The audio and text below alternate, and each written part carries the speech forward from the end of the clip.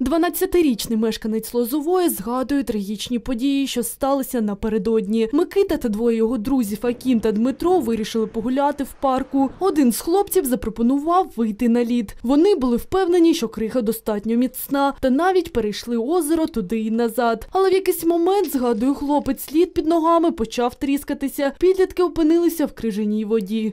Дима предложил м, подойти к берегу, он там увидел тоненький лед. Когда он к нему подошел, лед начал трескаться.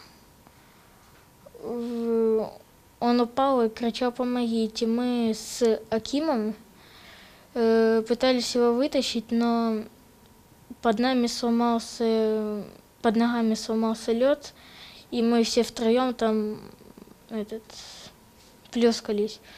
Хлопцю вдалося вижити. Врятував школяра випадковий перехожий. Велосипедист, який повертався додому, проїжджав біля озера і почув шорох поміж очеретів. Чоловік не одразу зрозумів, що це дитина. Там слышу детский голос. Думал, рыбачат.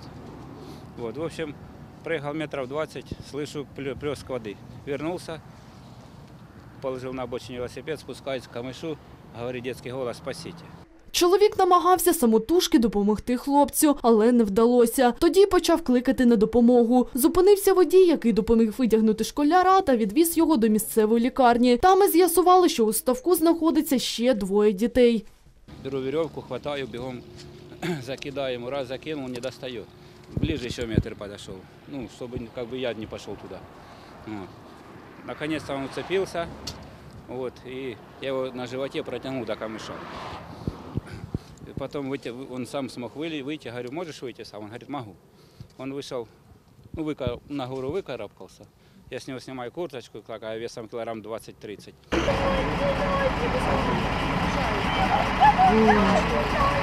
Тіла підлітків дістали місцеві рятувальники. На місці працювали 10 надзвичайників. Зазначають, що наразі знаходитися на кризі дуже небезпечно.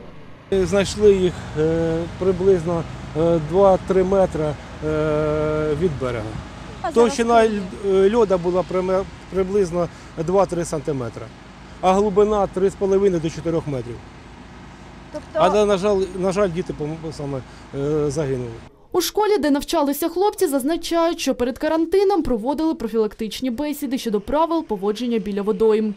Я думаю, що звісно заради дитячої цікавості хтось подав ідею, хтось цю ідею підтримав. Хлопці з середньостатистичних сімей е, навчалися в школах, е, не мали ніяких таких е, особливих випадків, щоб ми про них знали, що вони або погані, або якісь не такі. Як і всі інші дітки, да.